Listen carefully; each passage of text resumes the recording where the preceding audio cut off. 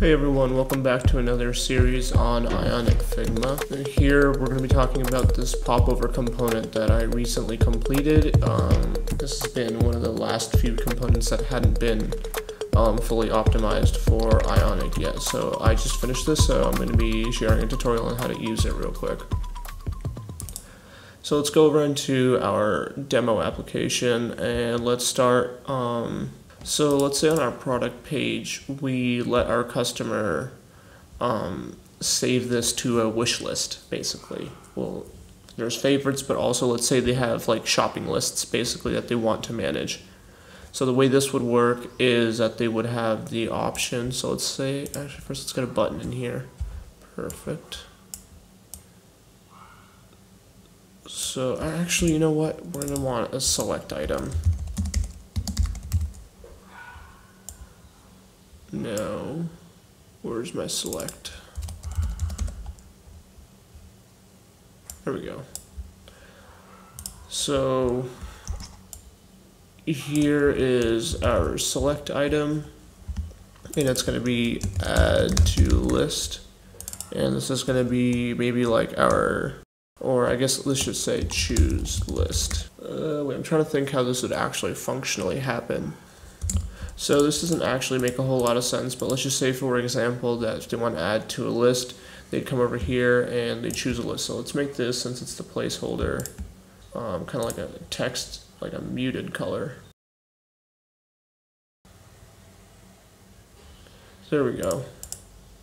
So there's that, and then clicking on that would open a popover right here that would have a list of all of the lists that they could possibly add it to. So let's use our popover component. There we go. So let's line it up right there and let's title it lists. So you'll see that this component inside of the popover is actually just an ion list component. So you can customize it the same way that you would customize a list.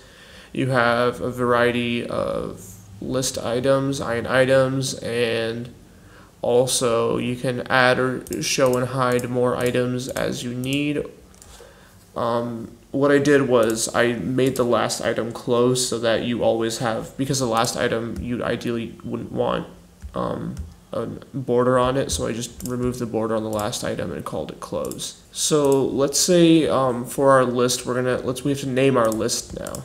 So how many different lists do we have? So before that, I know I'm gonna want to have icons to also go along with the type of list on the left right here. So I'm gonna select that we want an icon list type so like the item, we want it to be an icon type. And also for the note, we can show the count of how many items are in that list. So let's say we have, and let's call this our,